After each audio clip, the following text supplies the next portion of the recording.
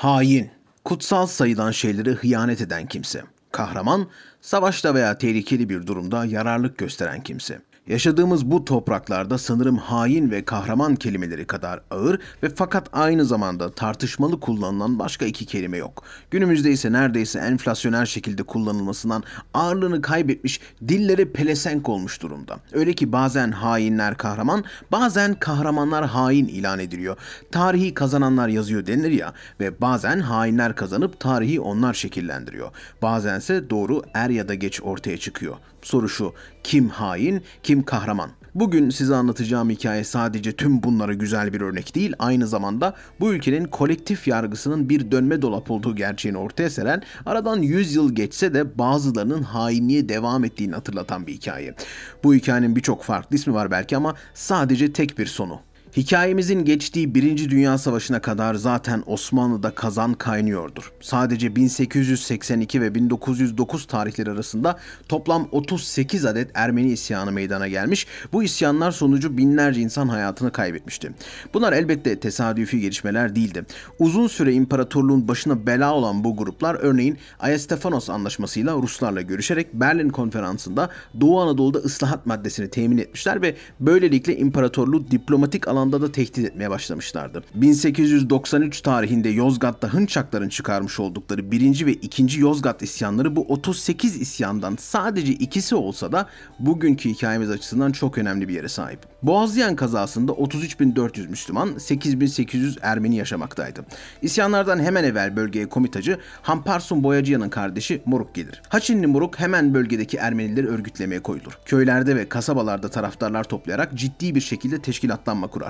Ermenilerden para talep ve tahsis etmeye de başlar. Bu elde ettiği parayla silahlı eşkıya grupları kurarak zaman içinde Yozgat Ermenilerinin neredeyse tamamını kontrol altına almayı başarır. Hınçakyan teşkilatına girmek istemeyen, para vermeyen ve bu teşkilatı hükümete ihbar edeceğini söyleyen Ermenileri de adamlarını öldürtür. Köylere gittiklerinde erkeklere hitaben cesur olunuz. Osmanlı'dan ve tüfeklerinden korkmayınız. Bu köylere tahsildar ve zaptiyeler geldiğinde itibar etmeyiniz. 5000 kuruş isterlerse 500 kuruş veriniz. Üzerlerine hücum ediniz derken kızlara ve nişanlarına hitaben de nişanlarınızı ancak millete hizmet ettikten sonra görüşelim demelisiniz diyerek telkin ve tavsiyelerde de bulunur. Bunlar Yozgat'ta köyleri geceleri gezip propaganda yaparlar. Köy toplantılarında Rusya'dan ve İngiltere'den buraya asker gelecek. Biz de boş kafalık etmeyelim hazırlıklı olalım diyerek militan toplarlar. Dikkat edin sene 1890'lar. Tüm bu örgütlenmeler meşhur 1893 Yozgat kilise hadisesinde patlar. Bir gün Yozgat'ın Kara Yakup ve Karaçayır köylerindeki kadınlar başka köyler köylerdeki Ermeni kadınlarını da örgütleyerek sözde Osmanlı memurlarının köydeki kadınlara tecavüz ettiklerini iddia ederler. Büyük bir patlamayla slogan ve yaygarayla Yozgat merkezine gelerek oradan şehrin kalabalık yerlerinden geçip kiliseye doğru giderler. Bu arada kilisedeki çan olağan dışı devamlı ve uzun bir şekilde çalmaya başlar. Çan sesini duyan Yozgat'taki neredeyse bütün Ermeniler kiliseye akın ederler. Ortada bir olay olmalıydı zira. Kilisede komitacıların yaptıkları inanılmaz nefret söylemleri sonrasında kiliseden çıkan öfkeli gruplar Müslüman ve Türk mahallelerine saldırmaya başlarlar. Bu karışıklıktan sonra yapılan soruşturmayla şikayet konusu olan kadınlara tecavüz hadisesinin gerçekte meydana gelmemiş olduğu anlaşılır. Karaçayır ve Karayakup köylerinden gelen kadınların bir gün öncesinden Yozgat'a getirildiği, hadisenin meydana geldiği günün bir gün öncesinden bu evde gizlendikleri, hadise günü de Yozgat'a yeni gelmişler gibi hareket ettirilerek şehrin en kalabalık kalabalık yerlerinden bilerek geçirilerek kiliseye gönderildikleri anlaşılır. Gelişen hadiselerden haberdar olmayıp kilise silahsız gidenler de kapıdan geri gönderilerek silahlı bir şekilde gelmeleri istenir. Hatta Tehditlere rağmen kiliseye gitmek istemeyenler fedaileri vurdurularak öldürülür. Bu hadisede Türk halkından 3 kişi öldürülürken 6 kişi de ciddi şekilde yaralanmış. Yozgat'taki bu kanlı isyanlardan sonra bölgeye gelen memurlar çektikleri telgraflarda bölgedeki Türklerin üzgün olduklarını, olayın üzerinden bir ay geçmesine rağmen suçluların hala cezalandırılmadıklarını yazarlar ve öneri olarak da isyana katılan suçluların ailecek sürgün edilmelerini, aksi takdirde tekrar bir isyana kalkışabileceklerini yazarlar. Merkezi yönetim bunu ağır mı buldu yoksa baskı mı fazlaydı bilinmez ama bu öneri uygulanmaz. henüz uygulanmaz. 1893 yılında meydana gelen Yozgat Ermeni isyanı esnasında Ankara valisinin merkeze yazmış olduğu fikirlerine göre Ermenilerin sadece suçlu olanlarının değil, suç işleyenlerin aileleriyle birlikte uzak yerlere gönderilmesinin gerekçesiyle birlikte önerdiği görülmekte. Ankara valisinin 1895 tarihinde yazmış olduğu fikirleri 20 yıl sonra Mayıs 1915'te uygulamaya koyacaklardır. Bizim hikayemizin başladığı tarihte yani. İşte kahramanımız Mehmet Kemal Bey. Memur çocuğu bir memur, idealist, kuralcı bir adam. 15 Mayıs 1915 tarihinde Yozgat Sancağı Boğazlayan kazası kaymakamlığına tayin edildi. 11 Haziran 1915 tarihinde görevine başlayan Boğazlayan kaymakamı Mehmet Kemal Bey'i çok zor bir süreç bekliyordu. Zira tam bu sıralarda 24 Nisan 1915'te meşhur Ermeni kuruluşlarını kapatma, silahlarını toplama ve devlet aleyhinde faaliyette bulunanların tutuklama kararı çıkarılmıştı. Fakat tabii ki de tüm bunlar fayda etmeyecek, çeteciler şiddeti daha da artıracaktı. Bu şiddet sarmalı bizi 27 Mayıs'taki tecir kararına getirecekti. Seferberlikten hemen sonra Yozgat'ta olaylar başlar. İlk huzursuzluk Boğazlıyan'ın Ermeni köylerinde çıkar. Boğazlıyan'ın Ermeni komitacıları tarafından Çayırşehir köyüne yerleştirilen dinamitlerden birisinin patlamasıyla bir Türk çocuğu ağır yaralanır. Olay üzerine Ümeç, Menteşe ve Iğdeli köylerindeki aramalarda bomba, dinamit, silah ve cephane ele geçirilir. Sadece bu da değil. Asker toplamak için köylere giden jandarma birliğinin yolu kesilerek üzerlerine uzun süre ateş edilir. Yine Rumdiken köyü Ermenileri jandarma karakoluna ve jandarmalara bir gece sabaha kadar kurşun yağdırırlar. Komitacılar Kumkuyu köyünde bir jandarma ile Poyraztepe köyünde iki kişiyi katlederler. Akdağ madeninde defalarca bombalar patlatılır. Boğazlayan köylerindeki Ermenilerin kurduğu yaklaşık 300 kişiden oluşan bu çete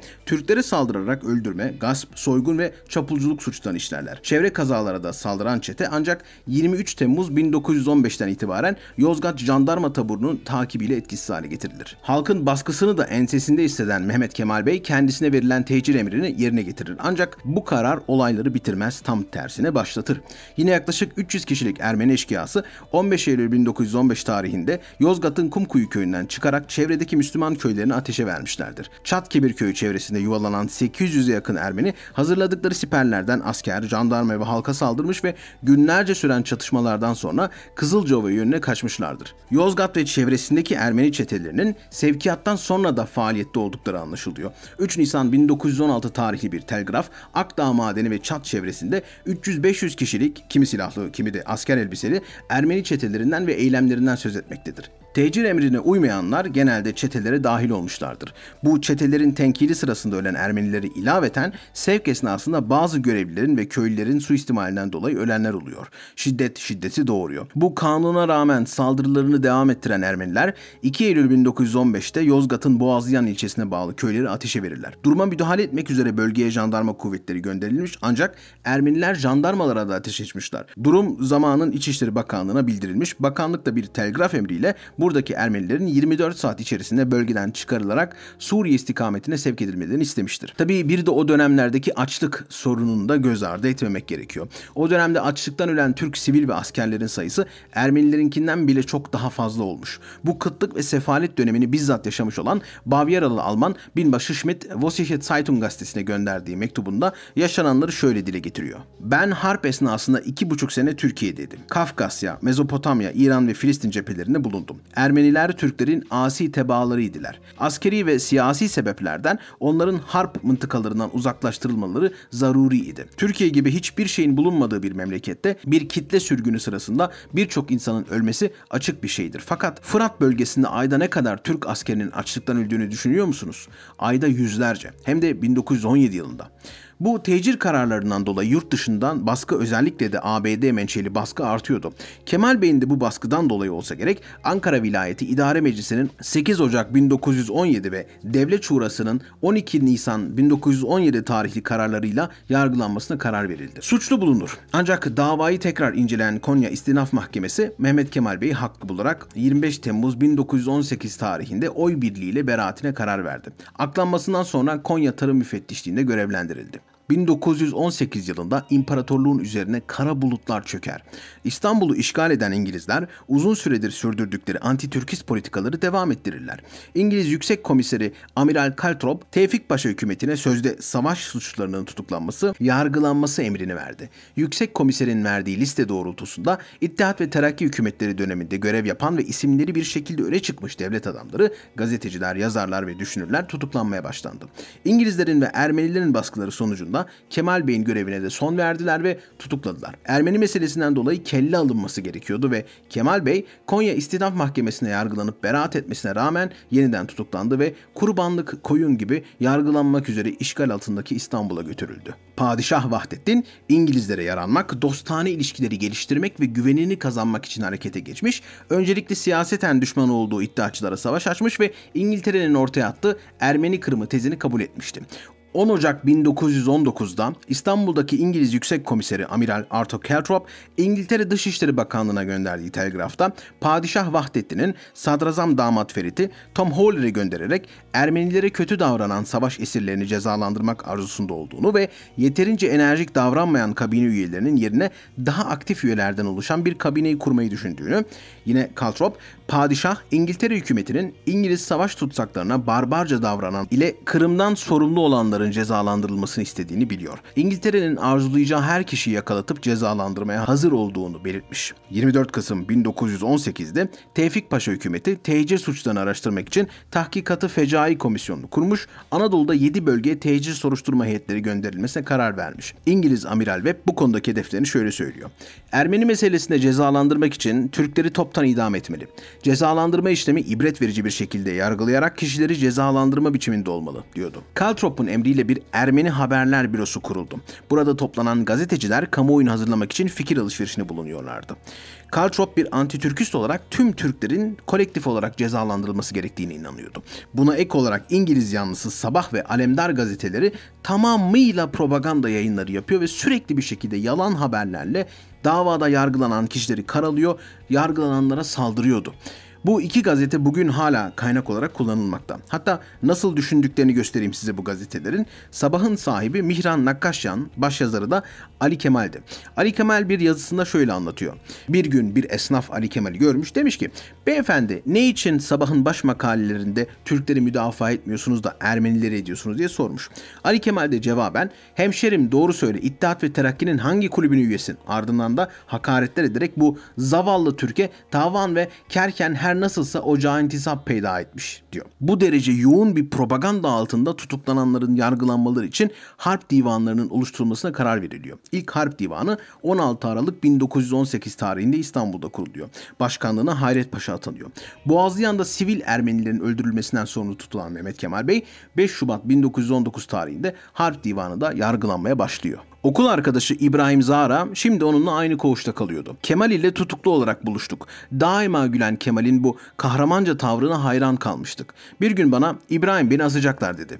Çocuklarını ve ailesini düşünüp bir ah çekti. O kadar temiz kalmıştı ki ziyarete gelen eniştesinden bir tek sigara alacak parası olmadığı için sigara istemiştim. Kemal Bey'in maddi durumu olmadığı gibi kendisini işgalcilere ve kuklalarına karşı savunacak bir avukat bile bulmak zordu. Saadettin Ferit adında bir avukat gönüllü olarak Kemal Bey'in savunmasını üzerine aldı. İngilizlerin istekleri doğrultusunda tutuklanan devlet görevlilerinin mesnetsiz iddialarla suçlanması ve yargılanmaya başlanmaları Türk kamuoyunda bir infial ortaya çıkardı. Tutuklama ve yargılanmalara tepki gösteren önemli isimlerden biri de Mustafa Kemal Paşa'ydı. Yaveri Cevat Abbas Bey ile birlikte Bekir Ağa bölüğüne giden Mustafa Kemal Paşa, Mehmet Kemal dahil olmak üzere tutuklu bulunan arkadaşlarına Türk milletinin kendileriyle birlikte olduğunu söyleyerek moral vermeye çalıştı. Divanı Harp Savcısı Sami Bey iddianamesinde Boğazyan Kaymakamı Mehmet Kemal Bey de suçlulardan biriydi ve en ağır cezaya çarptırılması lazımdı. Mahkeme sırasında çoğu Ermeni komitacılarından oluşan bir sürü yalancı şahit Kemal Bey'in suçlarını bir bir sayıp dökmeye başlamışlardı. Komitacılar İstanbul'da buldukları küçük Ermeni çocuklarını bile mahkemeye getiriyor, şahit olarak dinlettiriyordu. Söz alan Kemal Bey, Düne kadar bir hakimler heyeti halinde olan sizler bu dakikada bir tarih mahkemesi sıfatını almış bulunuyorsunuz. Ermeniler tarafından öldürülen dindaşlarının ve soydaşlarının matemi Müslümanların yüreklerini sızlattığı ve her gün gelen kara haberlerin halkı tahrik etmekten geri kalmadığı malumdur. Ermeniler ise Rus ordularının kah önüne geçerek kah arkasına kalarak ekseriya memleketin asker kuvvetinden mahrum kalmasına güvenerek facialar meydana getirmekten çekinmiyorlardı. İddia edildiği gibi Yozgat vilayeti dahilinde sevk edilen bazı Ermeni muhacir kafilelerine Ermenilerin Müslümanlara reva gördükleri fecaate şahit olmuş bazı asker kaçaklarının tecavüzü ihtimali dahilindedir. Ancak savaşta yenilişimizin aleyhimizde meydana getirdiği hezeyanı durdurmak maksadıyla iddia makamının da isteği üzere kurbanlar verilmesi bir siyaset icabı sayılıyorsa bu kurban ben olamam. Siz kurban seçmekte değil ancak hak ve adaletle hüküm vermek vicdani görevi taşıyan bir yüksek heyetsiniz. Mutlaka kurban aranıyorsa herhalde bütün bu işlerin tertipçisi ve idarecisi olarak benim gibi küçük bir memur bulunacak değildir. Bu savunmaya karşı mahkeme reisi Kemal Bey emin olun mahkeme hükmünü hiçbir dış etkiye kapılmaksızın sırf vicdani kanaatine göre verecektir diyordu. Halbuki Kemal Bey'in mutlaka asılması için Fransız ve İngiliz işgal kumandanlarının ve Ermeni Patriği Zave'nin ağır baskısı devam etmekteydi. Tecir esnasında öldürüldüğü ve mallarının gasp edildiği ileri sürülen Ermeniler mahkemede vekaleten temsil edilmişlerdir. Müdahale avukatlar olarak anılan bu kişiler zanlılar aleyhinde suçlamalarda bulundukları gibi mahkeme heyetini de etkileyebilmişler. Tabi yargılananlar hemen buna itiraz ediyorlar. Bu kişiler ancak dinleyici olarak bu mahkemede bulunabilirler. Şahit olarak değil ellerinde herhangi bir belge yok çünkü. Hatta bu uyuşmazlıklar için birkaç örnek verelim. Mesela Ermenilerin dava vekaletini üstlenen Leon Remzi ilk dilekçesinde öldürülenlerin sayısını 300, daha sonraki düzeltmesinde ise bu sayıyı 2700 kişi olarak gösterdi. 10 Şubat günü yapılan duruşmada da öldürülen Ermenilerin sayısını 6000 kişiye yükseltti. Dinlenen şahitlerin büyük çoğunluğu Ermenilerden oluşuyordu. Anadolu'dan geleceklerin yolluk ve yevmiyeleri karşılanmadığı için Mehmet Kemal Bey lehine şahitlik yapacaklar İstanbul'a gelemedi. Lehte tanıklık yapanlar ancak 3 kişiyle sınırlı kaldı. Aleyhine tanıklık yapanlar 19 kişiydi. İfade verenlerin beyanlarının gerçek dışı olduğu mahkeme heyeti tarafından tespit edildi. Örneğin Ojeni Varvaryan tehcir sırasında küçük bir kız olduğunu, kafasına balta vurarak öldürmek istendiğini ama şans eseri hayatta kaldığını anlattı. Mahkeme Ojeni Varvaryan'ın kafasındaki yara ile ilgili doktor raporu talep etti. Tıbbi incelemede yaranın çok yeni olduğu ve balta ile oluşmasının mümkün olmayacağı belirlendi. Raporun mahkemede okunmasından sonra Varvaryan Boğazlayan'da hiç bulunmadığını ama bu şekilde ifade vermesi için kendisine para verildiğini itiraf etti. Diğer şahitler de savunma avukatlarının soruları üzerine iddia ettikleri olayı hiç görmediklerini ama anlatılanları duyduklarını beyan ettiler. Mehmet Kemal Bey savunmasında Sivas ve Yozgat arasında köylere saldıran çetelerin olduğunu ve çetelerin toplam 800 civarında silahlı üyelerin bulunduğunu, kendisinin de bu çetelere müdahale ettiğini, ölenlerin ise sivil değil çete mensubu Ermeniler olduğunu belirtti. Köyleri basan bu çetelerle etkin müdahale etmek amacıyla Kayseri ve Niğde'den asker talep ettiğini, Niğde'ye bağlı bölgelerden asker takviyesi yapıldığını, gerekirse bu konunun Kayseri Bölge Kumandanı sorulabileceğini söyledi. Bu şahitlerden 15 tanesi duyduklarını nakletmekte veya görmüş gibi anlatmaktadır. Hatta bir tanesi açıkça yalan söylediğini belirtmekte. Diğer tüm şahitler bulundukları vilayetlerden getirilmesi ve yol masraflarının karşılanmasına rağmen savunma şahitleri için bu yola başvurulmamıştır. Sizlere biraz bu şahitlerin ifadelerinden bahsetmek istiyorum. Artin Velet Agop aleyhte. Akrabalarının öldürüldüğünü söyleyen şahidin ifadeleri çelişkili. Öldürülen akrabalarının ismi sorulduğunda iki isim vererek diğerlerini unuttuğunu söylüyor. Yozgat mebusu Şakir Efendi. Lehte veya aleyhte kesin bir ifadesi bulunmamakla beraber tecil sırasında Yozgat'ta bulunduğunu ve bazı suistimaller işittiğini söylüyor. Bennett Serkis aleyhte. İfadesinde yer alan iddialar savcı tarafından bile şüpheyle karşılanıyor. Önceden yazılıp ezberlenmiş olarak değerlendiriliyor. Ojeni Varvaryan, daha demin anlattığım, aleyhte Ermenilerin öldürülmesine şahit olduğunu, Kemal ve Tevfik Beyleri adam öldürürken görmediğini fakat işittiğini söylemiş. Alice Bennett. Bak bu çok iyi. Aleyhte. Feyyaz Bey'i yakalatan bu kadın, adamı yakalatmış yani, daha önce Yozgat'ta bulunduğunu ve öldürme olaylarına şahit olduğunu söylediği halde sonra Yozgat'ta bulunmadığını ve olaylardan haberi olmadığını söylüyor. Yalancı şahitliğine rağmen savcı bırakın gitsin kadındır sözüyle serbest bırakılıyor. Hristaki Andriades aleyhte Ermenilerin öldürüldüğünü anlatıyor fakat görmedim diyor. Yozgat muhasebecisi Vehbi Bey, Lehte, Ermenilerin mallarının kayıtları ile ilgili bilgi vermiş. Bahri Bey, Lehte, bu kişilerin suistimallerine şahit olmadığını söylemiş. Yozgat müftüsü burası çok önemli.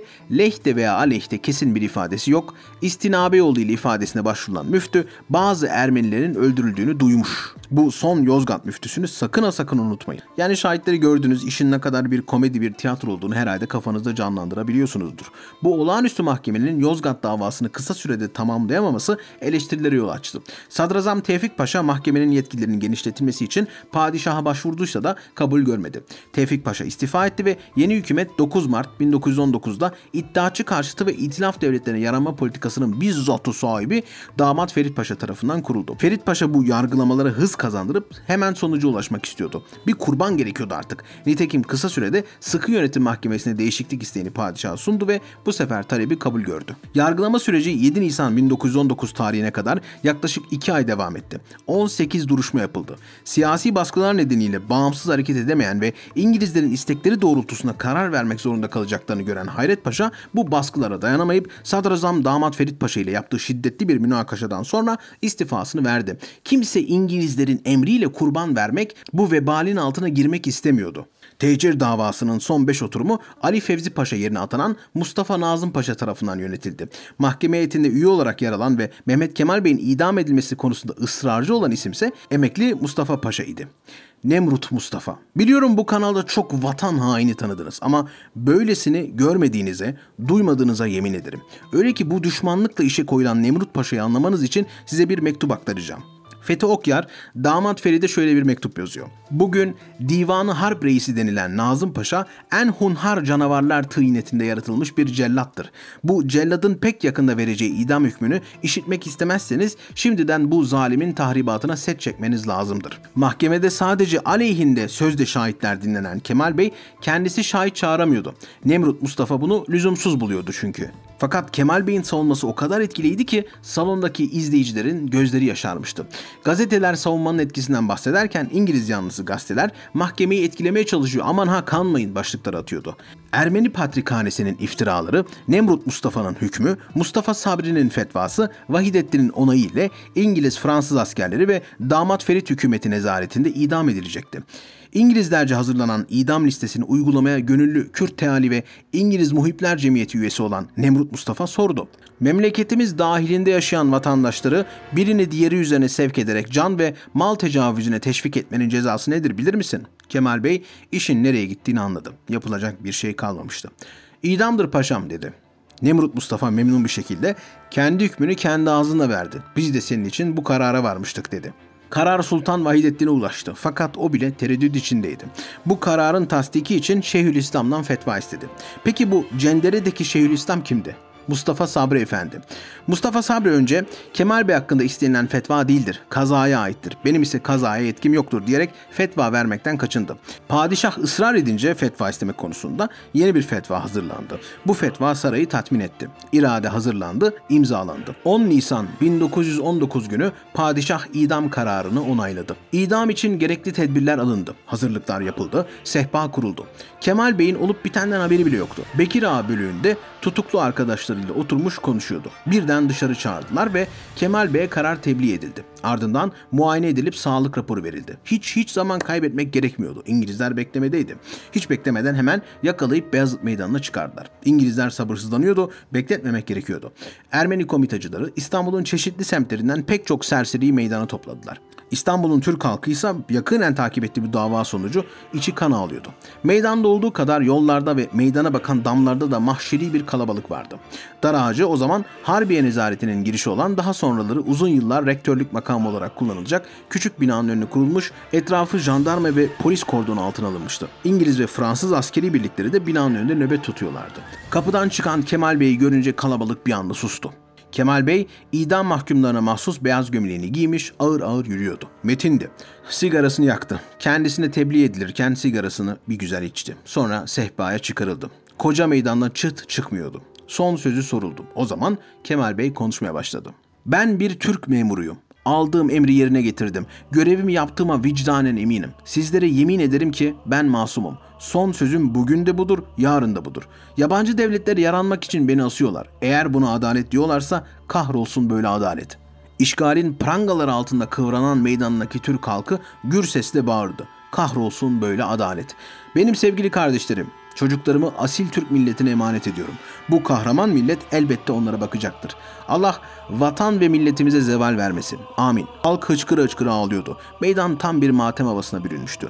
Manzarayı küçük köşkün pencerelerinden seyreden İngiliz Muhipler Derneği Başkanı Said Mola'nın cellatlara emri Kemal Bey'in sözlerini bastırdı. Söyletmeyin bu alçak herifi. Hemen asın bu köpeği. Ne duruyorsunuz it oğlu itler. Kemal Bey birkaç kelime daha edebildim. Borcum var, servetim yok. Üç çocuğumu milletim uğruna yetim bırakıyorum. Yaşasın millet. Sehpa devrildi. Kemal Bey'in cesedi akşama kadar asılı şekilde bırakıldı. Ermeni komitacıları sevinç çığlıkları atıyor, Türk halkı ağlıyordu. Kemal Bey'in üzerinden çıkan vasiyeti, perişan zevcem Hatice'ye yavruların müzeher ve müşerrefe muavenet edilmesini, yavrularımın tahsil ve terbiyesine ihtimam buyurulmasını vatandaşlarımdan beklerim. Babam Arif Bey de aciz ve kardeşim Münir de kimsesizdir. Bunlara da sahip olunursa memnun olurum. Türk halkı ebediyen yaşayacak. Müslümanlık asla zeval bulmayacaktır. Fertler ölür, millet yaşar. İnşallah Türk milleti ebediyete kadar yaşayacaktır. Kabir taşım Türk ve Müslüman kardeşlerim tarafından dikilmeli ve üstüne şöyle yazılmalıdır. Millet ve memleket uğrunda şehit olan Boğazlayan Kaymakamı Kemal Bey'in ruhuna Fatiha. 12 Nisan'da New York Times'ta dünyayı dehşete düşüren Ermeni katliamların failleri cezalandırıldı haberi çıktı. 14 Nisan'da bu sefer daha da öfkelidirler. Bu idam da tatmin etmez onları. Bu sabah İstanbul'dan Kemal Bey'in asıldığına dair gelen haberler pek tatmin edici değil. Kendisi katil ama asıl sorumlular Enver, Talat ve Cemal'dir. Bu sefer hiçbir Türk üçlüsünün adalet iddialarını etkilemeyeceğine inanıyoruz. İnsanlık tarihi bu üç kana susamış canavarlar da yan yana Beyazıt Meydanı'nda asılana kadar olanları unutmamalı. Kemal Bey'in katledilişine şahit olan Türk halkında inanılmaz bir reaksiyon başlar. Öyle ki cenaze töreni işgalcilerin gözünü korkutur. On binlerce vatansever tabutunu kafa hizasında taşıyarak İstanbul'u inletir. Celal Bayar, tıbbi öğrencilerinin cenazeyi üzerinde Türklerin büyük şehidi Kemal Bey yazılı çelenklerle karşıladığını ve Kadıköy karakolu önünden geçerken askerlerin cenazeyi selamladığını yazıyor. İsmail Hami Danışment, Türk milliyetçiliğinin unutamayacağı bir cenaze alayı yapıldı. O zamanki Kadıköy karakolundaki askerler tabut geçerken bayrağı yarıya indirerek askeri merasim yaptı. Tıbbiye talebeleri oradaki zabitlerle muazzam bir cenaze alayı yapmışlar. Tabutu kolları üzerinde götürmüşler. Hatta o zaman işitmiştik ki bu alayı seyreden bir Fransız zabiti bu İttihat ve Terakki ne müthiş kuvvettir diyerek haykırmış. Mezarının başında bir tıbbiyeli genç, Kemal sen ölmedin. Sen şu anda toprağa verdiğimiz bir çiçeksin. Orada büyüyecek, dalların o kadar dikenli olacak ki seni bu akıbete layık görenlerin hepsini paramparça edecektir. İntikamın kesinlikle alınacaktır yeminini etmiş. İngiliz ve Fransız istihbarat subayları raporlarında inanılmaz bir panik halinde Türk milliyetçileri uyandı. Hükümetin bu cenazeye müsaade etmesi hatadır yazıyordu. Kendi ellerimizle bir kahraman yarattık diye hayıflanıyorlardı. İşte bu Mehmet Kemal Bey'in hikayesi. Peki ya diğerleri? O kahramanlara ne oldu? Kürt Teali Cemiyeti mensubu Nemrut Mustafa bir takım devlet aleyhinde faaliyetleri ve davranışlarından dolayı daha sonra görevinden alındı. Hatta Ermeni Jamanak gazetesine verdiği demeç yüzünden iç güvenliği bozduğu gerekçesiyle sorguya bile çekildi. Daha sonra Mustafa Kemal Atatürk içinde gıyaben idam kararı çıkartan Nemrut görevinden alındıktan sonra Şam'a gider. İngilizlerden buradaki Kürtleri ayaklandırmak için 50 bin lira alır ve yine İngilizler tarafından sözde Kürdistan'a vali tayin edilir. 1921 yılında Diyarbakır'da ayaklanma çalışmaları yapacak olan Nemrut Paşa, Şeyh Said isyanını hazırlayanlar arasında. Milli mücadeleye başından beri düşmanlık eden ve imkanını bulduğu her yerde Kuvayi Milliye zarar veren Nemrut Mustafa, Divanı Harp Mahkemesi'nde Kuvayi Milliyecilere karşı verdiği haksız cezalar neticesinde Ankara hükümeti tarafından yargılandı ve 3 Temmuz 1920 tarihinde vatana ihanet suçundan idama çarptırıldı. Nemrut ayrıca 150'likler listesine 31. sıradan girdi. İngiltere'nin kurduğu Kürdistan Krallığı'nda sözde eğitim bakanı oldu. Ancak buranın yıkılmasıyla birlikte Bağdat'ta sefaret içinde öldü. Peki ya Mustafa Sabri? Sevr Barış Anlaşması'nın imzalandığı günün gecesi İngiliz Muhipler Birliği üyesi Mustafa Sabri'nin eşiyle arasında ilginç bir diyalog yaşanır. Ailesiyle oturduğu Şeyhülislamlık binasında eşi Ulviye Hanım ağlayarak sen Allah'tan korkmadın mı? Peygamberden utanmadın mı? İzmir'in Yunanlara verilmesine nasıl razı oldun? İstifa edeydin de imza etmeseydin diyerek bu anlaşmadan duyduğu rahatsızlığı dile getirdi ve Mustafa Sabri suçladı. Buna karşılık Mustafa Sabri eşine hiçbir cevap veremez. Burada bile istifa etmeyen Sabri Bey başka bir yerde istifa edecektir. Çünkü Atatürk'ün yürüttüğü milli mücadeleye başından beri karşıdır. Çıkarılan fetvayı destekler, padişahın aksi emrine rağmen istilacılara karşı direnişe geçen milliyetçilerin öldürülmeleri caiz olmakla kalmayıp hatta her Müslümanın dini görevidir. Bu uğurda ölenler şehit, kalanlar gazi sayılır diyecektir. Kuvayi Milliyecilere kudurmuş haydutlar diye bildiri yazdı. Bildiri İngiliz uçakları Anadolu'da dağıttı. O kadar Müslümandır ki hilafeti korumak için Papa'dan yardım ister. Mektup yazar. Gider hatta sultanın huzuruna çıkar ve Anadolu hareketine karşı görüşlerini belirtir. Hatta bu çerçevede 18 Nisan 1920'de Hilafet Ordusu adı altında bir ordu kuruluyor. Kuvayi Milliye'ye karşı kurulan bu orduya Kuvayi İnzibatiye de denmektedir. Bu ordunun görevi ayaklanmaları destek olmak ve Ankara Meclisi'nde doğmadan boğmaktır. Ancak Mustafa Sabri'nin bu sert tedbirler alması yönündeki istekleri kabul edilmedi. Bunun üzerine kendisi istifa etti. Evet bu kadar hainliğin içerisinde olup ar edip istifa etmeyen adam milli mücadeleye balta vurulmuyor diye istifa etti. Milli mücadele başarılı olunca da kendisi önce Yunanistan'a oradan da ölene kadar kalacağı Mısır'a kaçtı. Yunanistan'da çıkardığı Yarın gazetesinde 1927 yılında yazdığı şiirde Türklüğüne tövbe ettiğini, Türklükten istifa ettiğini söyler. Yalnız Müslüman ve insan olarak kalmak üzere Türklükten şeref ve izzetimle istifa ediyorum Allah'ın huzurunda. Tövbe ya Rabbi tövbe Türklüğüme, beni Türk milletinden addetme.'' Bir yazısında da milletler hakkında benim elimden gelse Türkleri Arap yaparım. Diğer Müslümanları da. Bunların vaktiyle Araplaşmadığına da çok eseflenirim. Arap dili ne Türk diliyle ne de Çerkez diliyle kıyas kabul etmeyecek derecede üstünlüğe sahip olduğundan insanın milliyetin küçüğüne sahip olup da onunla iftihar edeceğine büyüğüne sahip olarak onunla iftihar etmesi daha karlı ve makul olur der. E bu kadar ihanetin sonunda Mustafa Sabri de 150'likler listesinde 9. sıradan, oğlu İbrahim Sabri ise 13. sıradan girer. Peki Mehmet Kemal Bey 14 Ekim 1922'de Boğazlayan Kaymakamı Mehmet Kemal 1. Büyük Millet Meclisi tarafından şehidi milli ilan edildi. Kemal Bey'in eşi Hatice Hanım ve çocuklarına ömür boyu maaş bağlandı. Şehit ailesine bir apartman ve bir ev tahsis edildi. Hain ilan ettikleri Kemal Bey, Türk milletinin kahramanı ve milli mücadelenin sembolü olurken kendisini ölüme gönderen dönemin sözde kahramanları vatan hainleri olarak öldüler. Peki hikaye burada bitti mi? Elbette hayır. Ne demiştim size? Bu ülkenin kolektif yargısı bir dönme dolap. Gelelim 2010'lu yıllara. AKP iktidarının çeşitli açılımlarından biri de Ermeni soykırım açılımıdır. Hatırlayanlar vardır elbette. Bir dönem Türkiye neredeyse soykırım olarak tanıyordu bu yalanı. Bunun için de Ermeni soykırımını doğrudan bir suç olarak eleştiren ilk Türk ünvanıyla tanıtılan sipariş tetikçi Taner Akçam devreye girdi. Her yazısında Boğazlayan Kaymakamı Kemal Bey hedef alıyor, hakaretler ediyordu. Bu sözde solcu sipariş tarihçiyi Hikmet Çiçek Aydınlık'taki tanıdığım Taner Akçam nasıl devşirildi yazısında şöyle anlatıyor. Akçam 1977 yılında cezaevinden kaçarak Almanya'ya gittikten sonra müthiş bir değişime uğradı. Geçmişini, davasını, arkadaşlarını ve vatanını bir kenara bıraktı. Alman istihbarat servisinin konuğu oldu. Siyasi mülteci sayıldı ve kısa sürede Alman uyruğuna kabul edildi. Tessa Hoffman ile tanıştırıldı. Hoffman, Berlin Hür Üniversitesi'nde Türkiye ve Kafkaslar'da azınlık çatışmaları uzmanı olarak istihbaratının think tank kabul edilen Hamburg Sosyal İncelemeler Enstitüsü Akçam hemen araştırma bursu vermeye başladı. 1988 yılında yılında ise enstitünün maaşlı elemanı oldu. Hamburg Bilim ve Kültürü Teşvik Vakfı'nın yüklü miktardaki bursuyla Türkiye ve Doğu sorunu başlıkta doçentlik tezini hazırladı. Akçam'ın araştıracağı konuları Tessa Hoffman ve Alman Doğu Enstitüsü belirliyordu. Akçam'a sipariş edilen konular şunlardı. Türk tarihinde şiddet, Türk tarihinde işkence, Ermeni soykırımı. Özeti Türkiye'nin cinayet dosyaları. Emperyalizm bu konuların yazılmasını istiyordu. Görevi yerine getiriliyordu. Akçam üzerinden geliştirilen bu tarih revizyonizmini muhafazakar kitleleri yutturma görevini bir başkası üstlendi. Hilal Kaplan. Fethullahçı terör örgütünün yayın organı Taraf Gazetesi'ne yazarlık yapan Kaplan bu diskuru özenle geliştirdi. Soykırımın tanınması için spin doktorluğa soyundu. 13 Ocak 2010 yılında Ey Cemaati Müslim'in 19 Ocak'ta neredesin yazısında şöyle der Kaplan.